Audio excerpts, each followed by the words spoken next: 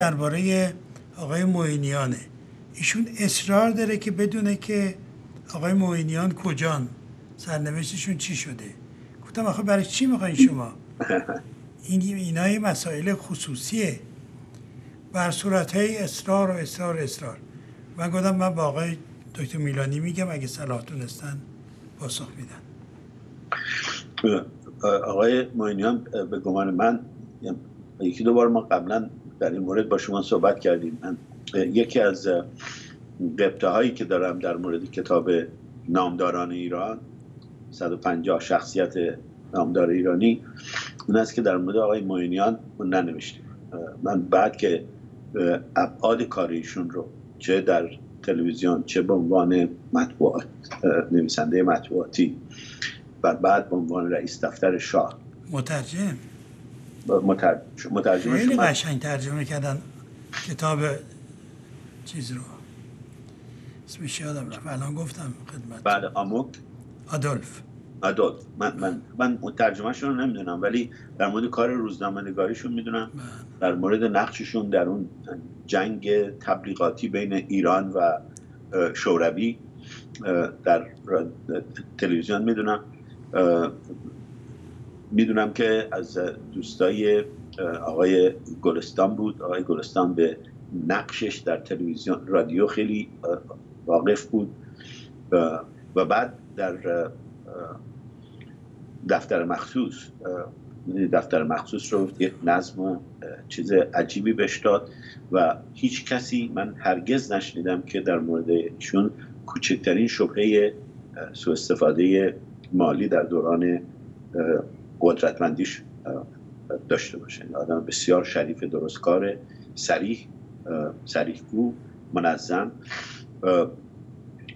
تا اونجایی که من می‌دونم در اروپا هستن در فرانسه زندگی می‌کنن و در مسائل ایران رو هم دنبال می‌کنن. من یکی دو بار وقت رو داشتم که باشون بیش از یکی دو بار باشون مصاحبه کردم مصاحبه تلفنی کردم صحبت تلفنی کردم و اطلاعات بسیار مهمی رو در اختیار من گذاشتن و این در حدی است که من می‌دونم بیشتر از این خبر ندارم که کجا دقیقا هستم. ولی فکر می‌کنم من مسجلا در اروپا تشکیل دارم و فکر می‌کنم که واقعا از اون شخصیت بسیار بسیار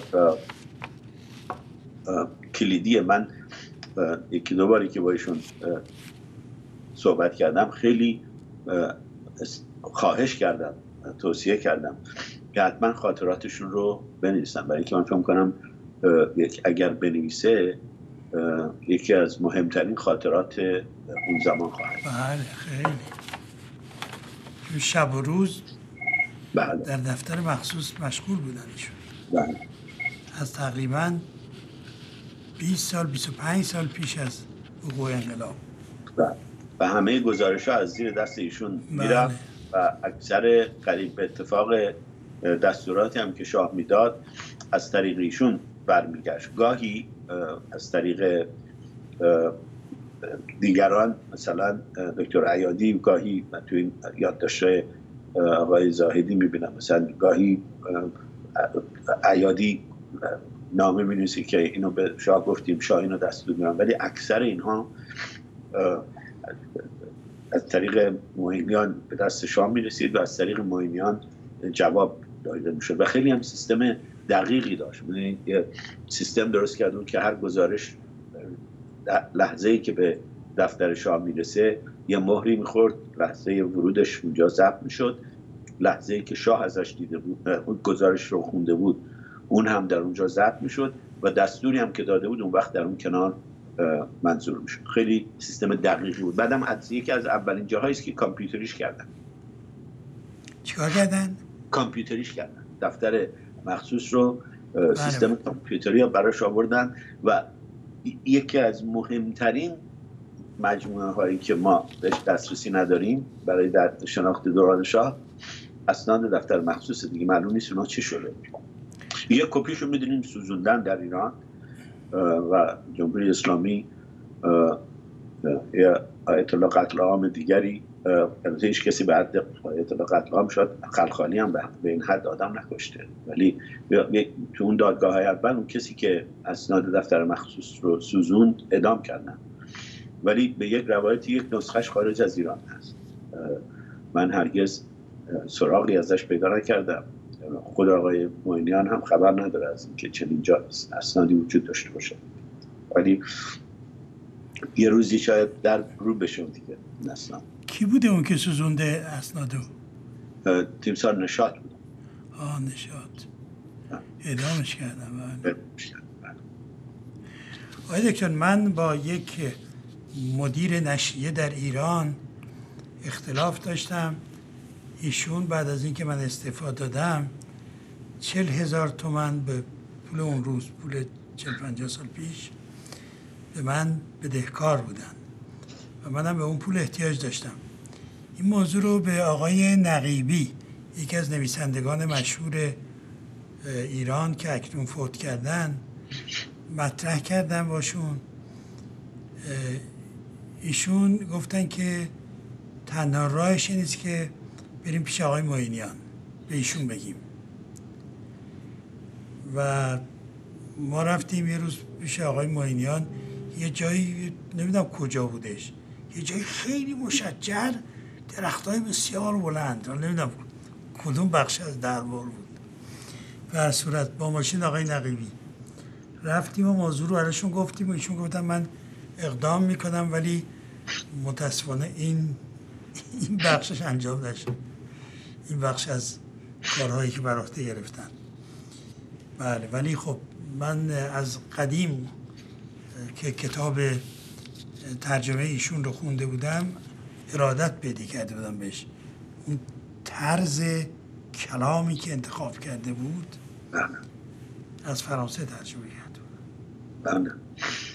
بله. بعضی از گزارش هاشون هم گزارش هایی که برای اون کمیسیون بازرسی دربار که نوشته بودم من خوندم بسیار دقیقه گزارش های بسیار دقیقه بسیار منصفانه و بسیار جدی. اینکه بخواد یه جوری لاپوشی بکنه یا دروغ بگه یا زیادی تعریف یا زیادی تکسیب بکنه درش نیست. یعنی واقعا آدم بسیار بسیار جدی و صالح و سالمی بود. بله، معذرت بفرم یکی از همیهنان به من زنگ زدن و بعدم مطالبشون رو ایمیل کردن به انگلیسی و فارسی. ایشون می‌خواستن درباره اون آقای قدر. یادتونه اسمشون یه دفعه تو برنامه بله. آوردیم. ایشون شنیده بودن. گویا یه اطلاعاتی دارند و می‌خوان تکمیل بشه. برسات من می‌خونم چند سطحشو.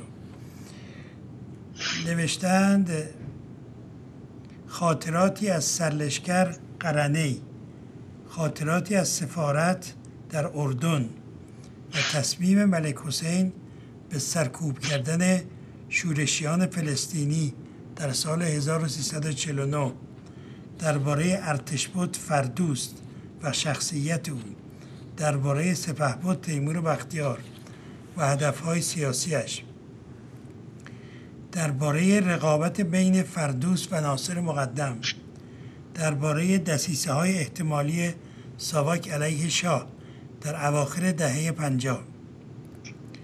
خاطراتی از دستگیری برخی از رهبران انقلابی مخالفان رژیم شاه در لبنان و ایران و خرابکاری عمدی ساواک دوران ریاست نعمت الله نصیری و حسن پاکروان در ساواک سیاست های منطقه ایران خاطراتی از امام موسی صد و مصطفی چمران پیام سوریه به محمد رضا شاه در مورد مرگ امام موسی صد روابط امام موسی صد با دولت ایران.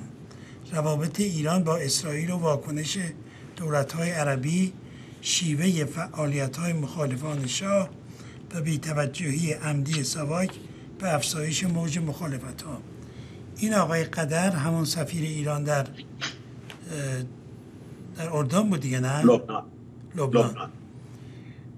در این باره یه مصاحبه مفصلی کرده. من این نامش براتون میفرستم.